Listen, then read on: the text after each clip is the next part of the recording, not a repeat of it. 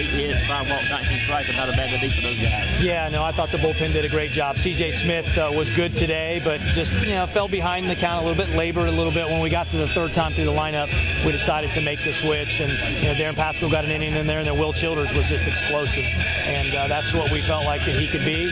We saw that from Jonathan Cannon yesterday. We've still got a couple freshmen that haven't pitched, and uh, you know namely Garrett Brown and Michael Polk. Those guys hopefully will be on Wednesday. Uh, we can get them out there against Kennesaw State, but then to see Tucker Bradley back out there on the mound, it's been two years since we've seen that. The guy really competes. He loves to win, and that's the guy you want on your team. And uh, he's just a baseball player, and uh, he found a way to get it done. But you're three games in, but what did you learn about your team this weekend? Well, we got some fight. You know, we trailed a lot of innings in this weekend uh, to a good team, a team that's going to compete for their championship. I, I, wouldn't be shocked if they're in a regional. And uh, they, they're a really good offensive club, and they made a lot of good defensive plays. But for us to be down 6-2 on Friday, Emerson's out of the game, and then Ryan Webb, you know, wins the game for us. Just does everything he can to win it. And then uh, today, you know, it's three to nothing. They've got all the momentum.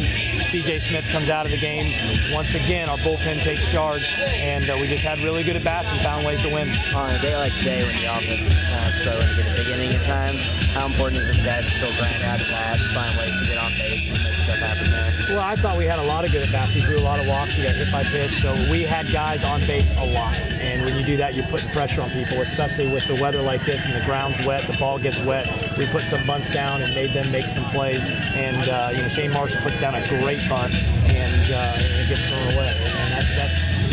won the game for us. Buddy Floyd got down a couple bunts, got on base three times, made big time defensive plays. So uh, when it's a weather day like this and you don't make any errors and your defense plays as clean as we play, you're going to win that game.